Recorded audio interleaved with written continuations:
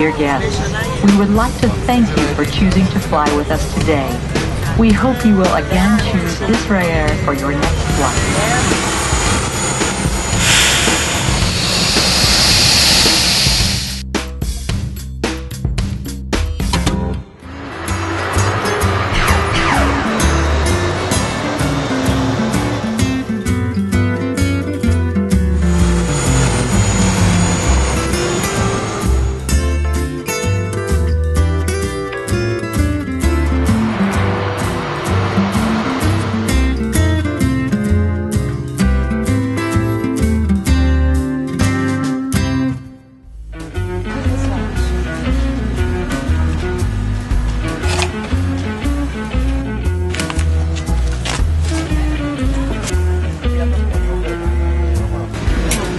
נוסעים יקרים, שלום ובוקר טוב, ברוכים הבאים לטיסת ישראל, 041 לאילת.